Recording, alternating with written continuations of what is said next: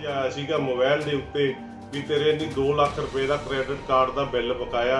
ਉਹ credit card ਜਿਹੜਾ ਹੈਗਾ ਮੇਰੇ ਮੋਬਾਈਲ ਦੇ ਵਿੱਚ ਹੈ, ਜਦੋਂ ਕਿ ਮੇਰੇ ਕੋਲ ਕੋਈ ਕਿਸੇ ਕਿਸਮ ਦਾ ਕ੍ਰੈਡਿਟ ਕਾਰਡ ਨਹੀਂ ਸੀ।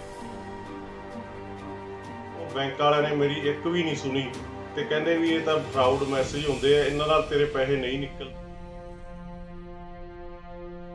ਮੈਂ ਕ੍ਰਿਸ਼ਨ ਕੁਮਾਰ ਸ਼ਰਮਾ ਵਾਰਡ ਨੰਬਰ 15 ਰੂਪਨਗਰ, ਗਿੱਦੜਵਾ, ਮੰਡੀ, ਸ਼੍ਰੀ ਮੁਕਤਸਰ ਸਾਹਿਬ ਦਾ ਰਹਿਣ ਵਾਲਾ ਅਤੇ ਮੇਰੇ ਨਾਲ HDFC ਬੈਂਕ ਦੇ ਵਿੱਚ 2 ਲੱਖ ਰੁਪਏ ਦਾ ਫਰਾਡ ਹੋਇਆ ਹੈ।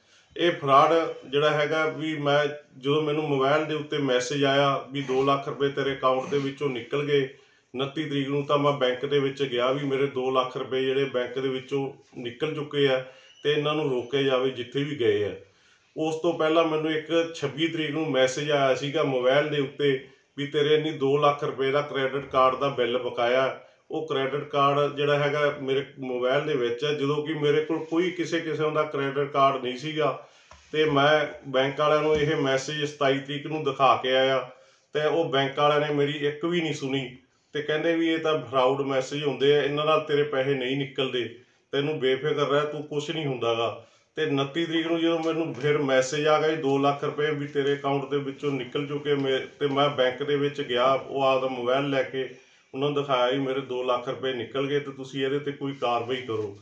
ਤੇ ਜਿਸ ਦੇ ਸੰਬੰਧੀ ਮੈਂ ਇੱਕ ਦਰਖਾਸਤ ਬੈਂਕ ਮੈਨੇਜਰ ਨੂੰ ਦਿੱਤੀ ਕਿ ਦਲਵਾ ਮੰਡੀ ਦੇ ਵਿੱਚ, ਕਿਉਂਕਿ ਮੇਰਾ ਕਾਫੀ ਸਮੇਂ ਤੋਂ ਇੱਥੇ ਅਕਾਊਂਟ ਦੇ ਵਿੱਚ ਲੈਣ ਦੇਣ ਚੱਲ ਰਿਹਾ ਸੀਗਾ। ਤੇ ਉਹਨਾਂ ਨੇ ਮੇਰੀ ਇਸ ਐਪਲੀਕੇਸ਼ਨ ਦੇ ਉੱਤੇ ਕੋਈ ਸੁਣਵਾਈ ਨਹੀਂ ਕੀਤੀ, ਸ਼ਾਮ ਨੂੰ 6 ਵਜੇ ਤੱਕ ਕੱਲਾ ਮੇਰਾ ਅਕਾਊਂਟ ਹੈ ਜਿਹੜਾ, ਉਹਨਾਂ ਨੇ ਨੋ ਡੈਬਿਟ ਕਰਤਾ। ਜਦੋਂ ਕਿ ਜਿਸ ਅਕਾਊਂਟ ਦੇ ਵਿੱਚ ਪੈਸੇ ਗਏ ਸੀਗੇ, ਉਹ ਅਕਾਊਂਟ ਵੀ ਉਹਨਾਂ ਨੂੰ ਨੋ ਡੈਬਿਟ ਕਰਨਾ ਬੰਦਾ ਸੀਗਾ। ਪਰ ਉਹਨਾਂ ਨੇ ਕੋਈ ਕਾਰਵਾਈ ਨਹੀਂ ਕੀਤੀ 29 ਤਰੀਕ ਨੂੰ। ਸਿਰਫ ਮੇਰੇ ਅਕਾਊਂਟ ਨੂੰ ਨੋ ਡੈਬਿਟ ਕੀਤਾ। 30 ਤਰੀਕ ਨੂੰ ਮੈਂ ਐਸਐਸਪੀ ਸਾਹਿਬ, ਸ਼੍ਰੀ ਮੁਕਤਸਰ ਸਾਹਿਬ ਦੇ ਜਾ ਕੇ ਪੇਸ਼ ਹੋਇਆ ਤੇ ਉਹਨਾਂ ਨੂੰ ਆਪਣਾ ਦੁੱਖ ਦੱਸਿਆ ਵੀ ਮੇਰੇ ਇਸ ਤਰ੍ਹਾਂ ਕਰਕੇ ਪੈਸੇ ਬੈਂਕ ਦੇ ਵਿੱਚੋਂ ਨਿਕਲ ਚੁੱਕੇ ਆ।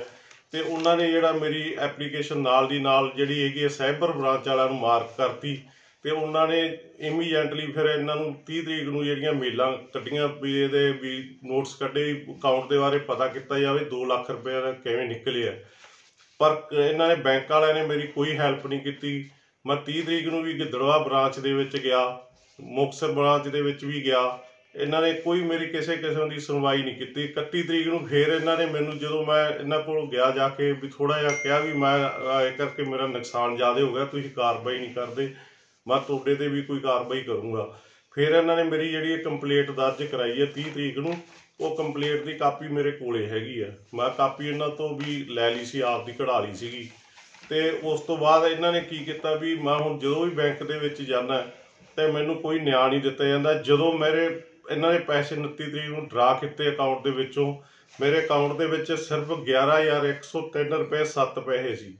ਤੇ ਇਹਨਾਂ ਨੇ 2 ਲੱਖ ਰੁਪਈਆ ਉਸ ਪਾਰਟੀ ਕੀ ਤੁਸੀਂ ਪਰੇਸ਼ਾਨ ਹੋ? 100% ਗਾਰੰਟੀ ਨਾਲ ਪਾਓ। ਹਰ ਪਰੇਸ਼ਾਨੀ ਦਾ ਹੱਲ। ਹੋਇਆ ਪਿਆਰ ਵਾਪਸ ਪਾਓ। 24 ਘੰਟੇ ਚ। ਪਰੇਸ਼ਾਨੀ ਜਿਵੇਂ ਲਵ ਮੈਰਿਜ ਪਿਆਰ ਚ ਧੋਖਾ ਸੌਤਨ ਦੁਸ਼ਮਣ ਤੋਂ ਛੁਟਕਾਰਾ ਤਲਾਕ ਕੇਸ ਜ਼ਮੀਨੀ ਝਗੜਾ ਵਿਦੇਸ਼ ਯਾਤਰਾ ਇਮੀਗ੍ਰੇਸ਼ਨ ਮਸਲੇ ਔਲਾਦ ਸੁੱਖ ਬਿਮਾਰੀ ਚ ਦਵਾ ਨਾ ਲੱਗਣਾ ਕੀਤਾ ਕਿਰਾਇਆ ਦਾ ਜੜ ਤੋਂ ਖਾਤਮਾ ਗੁਪਤ ਵਸ਼ੀਕਰਨ ਕਰਾਓ ਮਨ ਚਾਹਾ ਪਿਆਰ ਪਾਓ। ਲਾਟਰੀ ਨੰਬਰ ਪਾਓ ਭਾਵੇਂ 649 ਹੋਵੇ ਜਾਂ ਲੋਟੋ ਮੈਕਸ ਪਿਆਰ ਚ ਧੋਖਾ ਖਾ ਚੁੱਕੇ ਪ੍ਰੇਮੀ ਪ੍ਰੇਮਿਕਾ ਇੱਕ ਵਾਰ ਜਰੂਰ ਸੰਪਰਕ ਕਰਨ ਮੈਂ ਤੁਹਾਡਾ ਪਿਆਰ ਟੁੱਟਣ ਨਹੀਂ ਦੇਵਾਂਗਾ। It's my promise